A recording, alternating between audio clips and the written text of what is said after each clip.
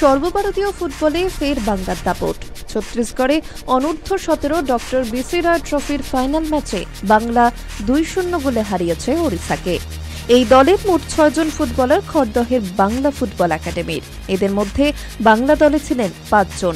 যে ছজন ফুটবলার বাংলা দলে ছিলেন, তারা হলেন Arnab Roy goalkeeper, Samir Roy right back, Thakur Dasa Hansda stopper. Stopper এবং দেবজিৎ দত্ত মিডফিল্ডার, শুভজিৎ সর্দার স্ট্রাইকার এবং রুদ্রনীল সাহা গোলকিপার। এর মধ্যে রুদ্রনীল ছাড়া বাকি পাঁচজনই প্রতি ম্যাচে প্রথম একাদশে ছিলেন। এই একাডেমি থেকে বহু প্রতিভাবান ফুটবলার উঠে এসেছে।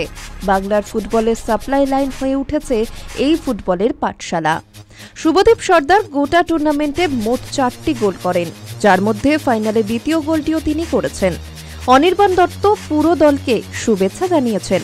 মুখ্যমন্ত্রী মমতা বন্দ্যোপাধ্যায় বাংলা দলকে অভিনন্দন জানিয়েছেন। তিনি কোচসহ দলের বাকিদেরও শুভেচ্ছা জানান। স্পোর্টস ব্যুরো, নিউজ বর্তমান।